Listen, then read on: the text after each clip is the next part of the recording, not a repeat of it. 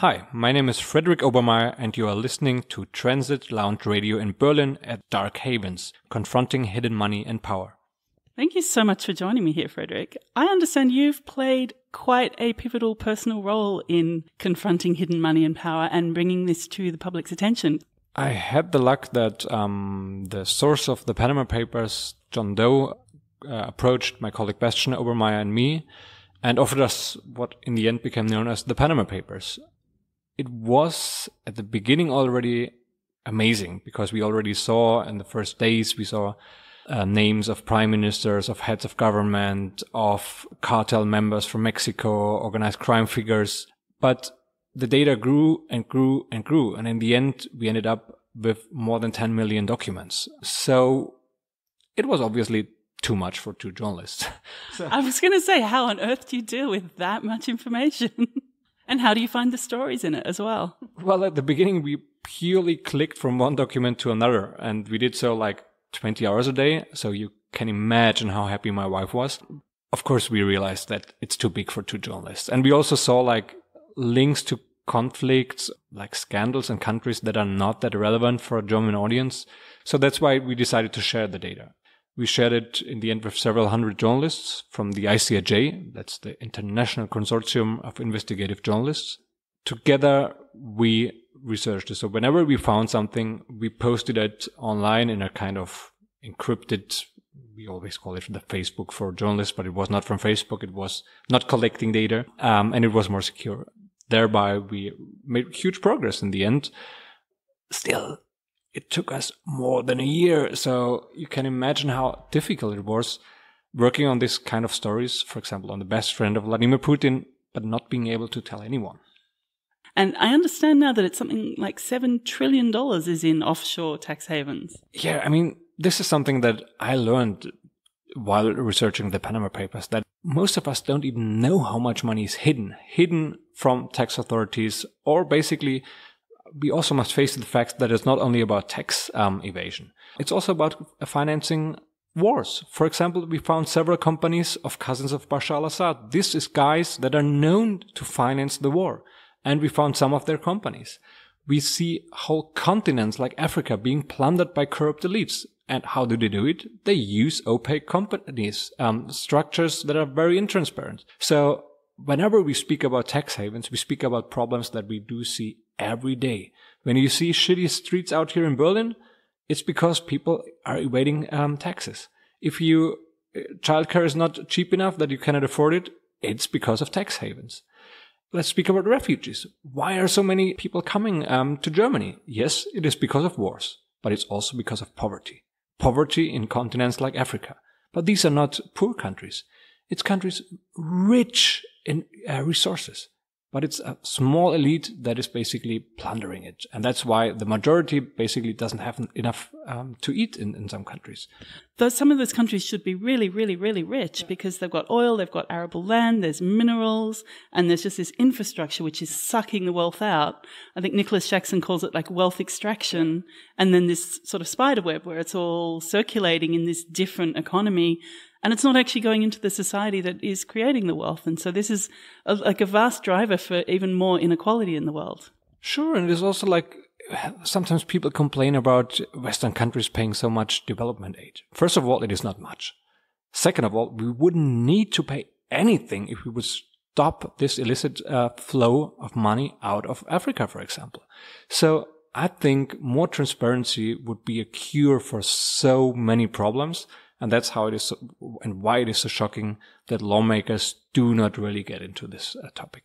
I mean, I think it seems like the, the worldview is maybe shifting a little bit that it was okay to do this and that now that it's part of a public discourse and that that's something that you've also been one of the key people in bringing this to people's attention in a way that they can kind of grasp and understand the scale of it, the magnitude and the personal effects that it has on, you know, day to day life.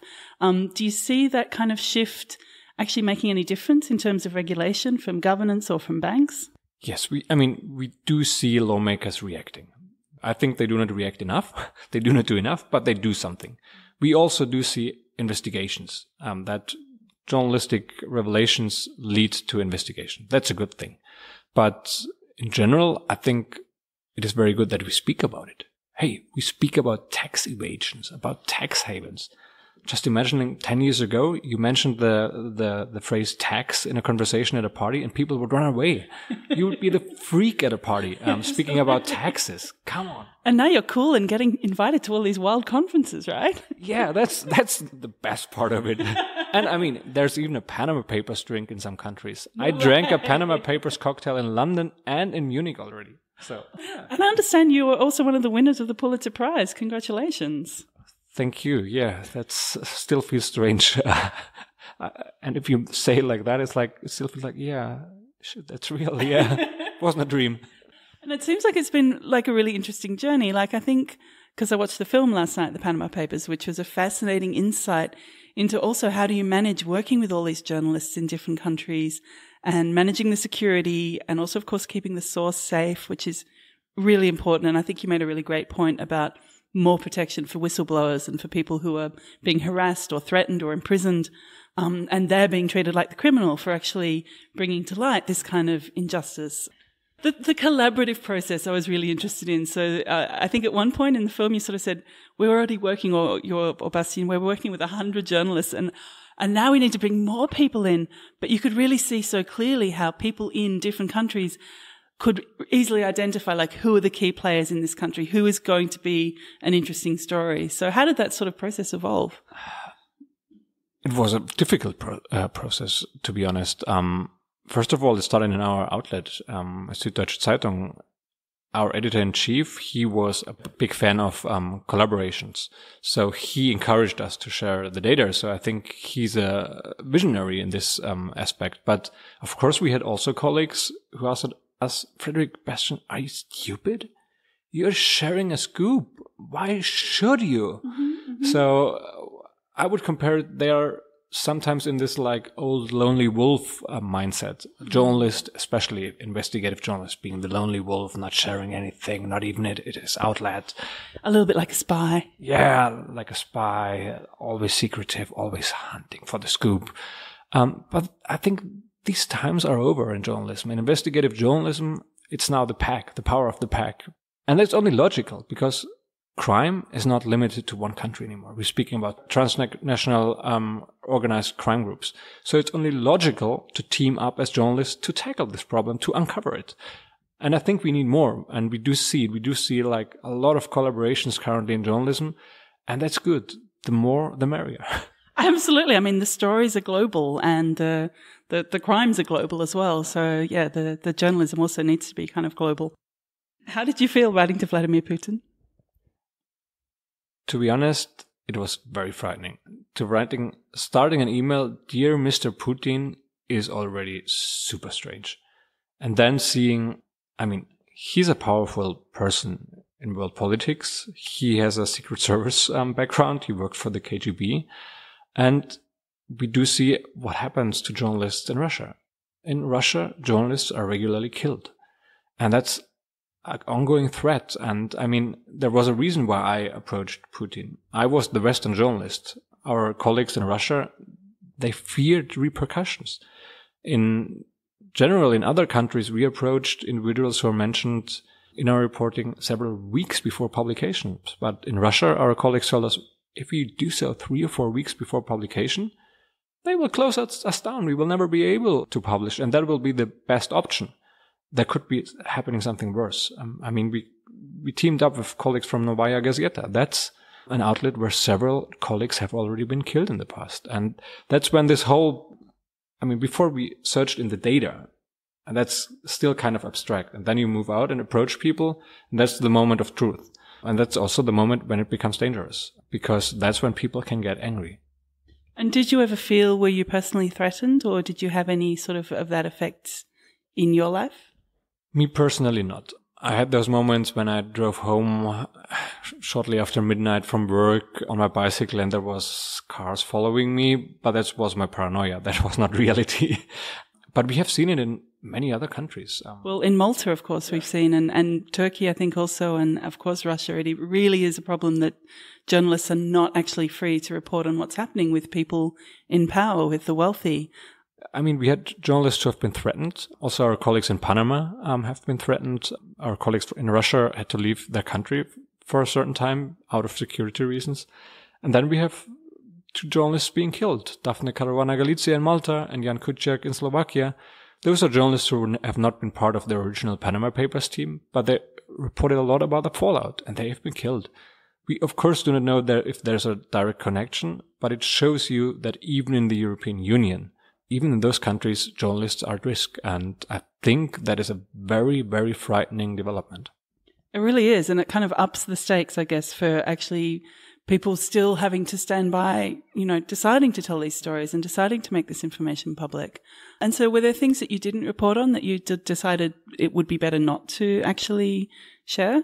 No. Um, we gave, for example, with the journalists with whom we, we worked, we shared with them all um, documents. So we didn't do any pre-selection because we wanted to start at the same level and do not basically limit their access. Because, for example, it was not like automatically like the German journalist following the German story. It was, for example, the case of Iceland it was the Icelandic um, journalist who had the lead, but it was also, was also us and the German team. Also, the Swedes uh, did a lot on this part. So that was a very fruitful um, collaboration, and we learned from a lot from each other. And I mean, the Icelandic prime minister actually resigned, I believe. Yes, he resigned due to the Panama Papers, and our colleague Jóhannes Kristjánsson is, depending on whom you ask in Iceland, now our hero, or one who whom you don't want to basically read on the streets because he changed history in his country. And I guess that's a that's a polarizing thing to do. Are we still seeing ongoing effects from the information that has come out through the Panama Papers? Yes, there's. I would say, in average, there's every week one uh, story with at least some information coming from the Panama Papers being published somewhere all around the world. There's not that big Panama Papers branding on it anymore, but we do still see these stories. And I'm sure that we will still see them in two or five years. With 10 million documents, that's a lot of stories still to tell. And it seemed like there was an interesting process of organizing the information, structuring databases, and I believe it's now available to the public. Like you were saying, you can actually search online yourself if you're interested. It is, I must say, not the original documents that are online, but you can search in the metadata that is on the webpage of the ICIJ, the offshore leaks database. So you can search for names and you can find if they are popping up uh, in the Panama Papers or also in other leaks like the offshore leaks or the Paradise Papers.